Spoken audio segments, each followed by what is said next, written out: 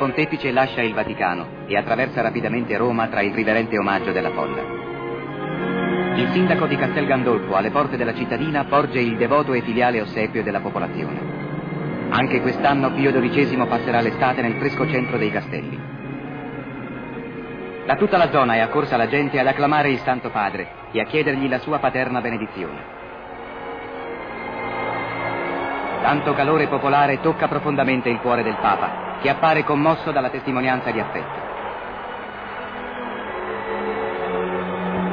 Nel grande silenzio scendono quindi dall'alto del breve balcone le parole benedicenti. Poi la folla saluta ancora, in gioiosa esultanza.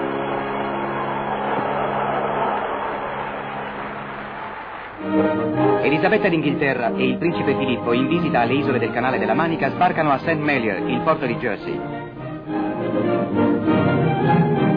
È la piccola figlia di un falegname a dare il benvenuto alla sovrana, che riceve quindi l'omaggio dei più vecchi isolani. Fra essi due coppie già in nozze di diamanti. Al garden party del governatore, duemila sudditi sono presentati alla regina, le offrono il tradizionale briffo di latte.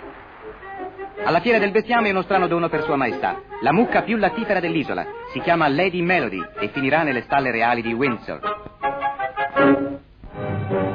Nel bacino del Sulcis, in Sardegna, la miniera più lontana dal mare è quella di Seruci. Il carbone di tipo pregiato viene avviato su un lungo nastro trasportatore alla prima fase di lavorazione. Le braccia dell'uomo sono sempre necessarie nel mondo delle macchine. Le robuste braccia di un minatore spezzettano col martello i blocchi più grossi. Frantumato, il carbone viene setacciato da un vibravaglio e va poi a finire alla laveria. Qui il minerale è lavato in vasche e docce per pulirlo dalle materie sterili.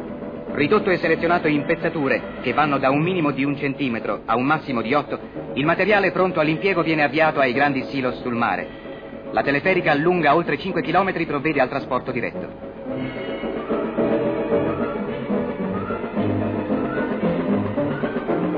Strada facendo viene rifornita la centrale idroelettrica che dà luce e forza motrice alla zona di Porto Vesme.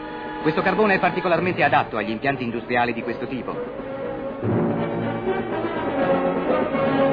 Ora il carbone è giunto ai depositi, pronto all'imbarco. Dai silos tramite un elevatore passa attraverso il tubo telescopico che lo stiva nel capace ventre delle navi in attesa.